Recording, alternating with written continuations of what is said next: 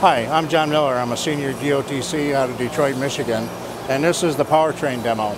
What we've got here are four CNCs doing a typical machining on a uh, crankshaft for an automotive plant.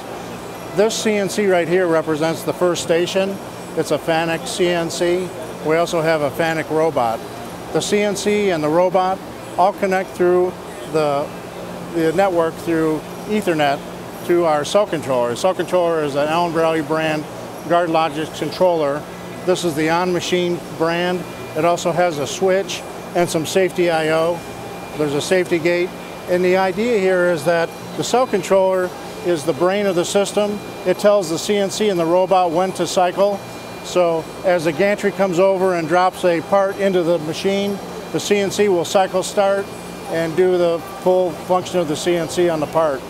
So all the equipment is tied together over Ethernet so it's a, a uh, very seamless and clear um, network, uh, very easy to assemble, very easy to troubleshoot. Diagnostics come up to a mainframe, so it's a complete system, uh, all contained. For more information, visit us at rockwellautomation.com.